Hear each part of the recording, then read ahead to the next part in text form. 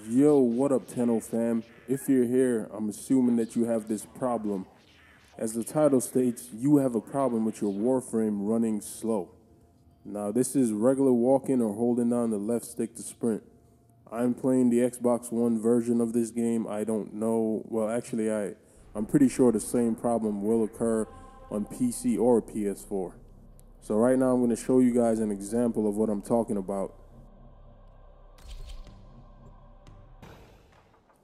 Okay, as you see, my frame is walking and he's looking as if he's extra tanky. You must deliver payloads and defend a number of locations while So this is not normal. I can still bullet jump, but it's the same thing when I try to sprint.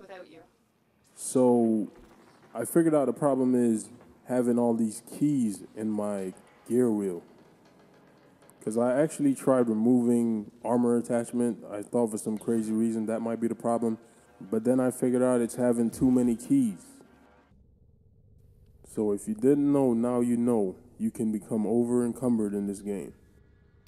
Anyway, all you have to do is access your gear and remove all the keys. I'm pretty sure it's okay to have at least one key.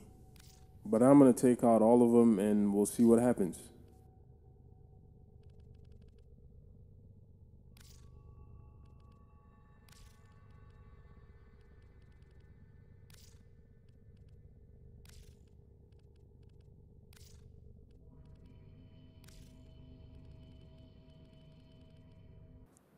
Okay, we're back in the mission and check it out. I'm able to sprint again.